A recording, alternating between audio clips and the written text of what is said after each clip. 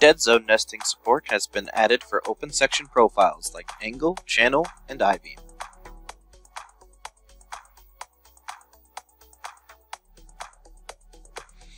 Without dead zone nesting, these parts are nested with large amounts of scrap due to the portion of the stock being gripped by the machine known as the dead zone.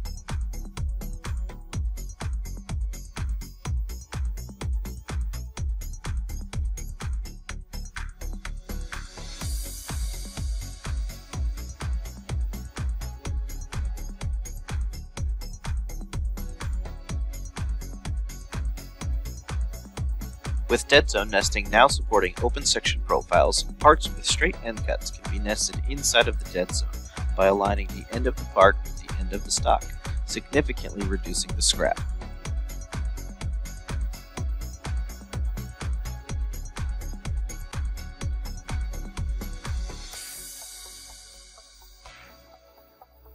Additionally, dead zone nesting can now create single part nests.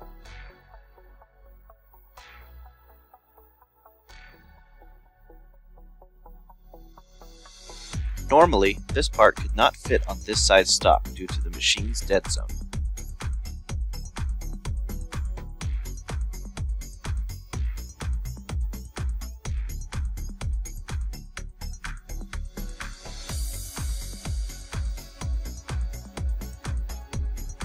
With dead zone nesting now supporting single part nests, this part can be nested inside of the dead zone, allowing for the usage of shorter remnants that would otherwise be unused.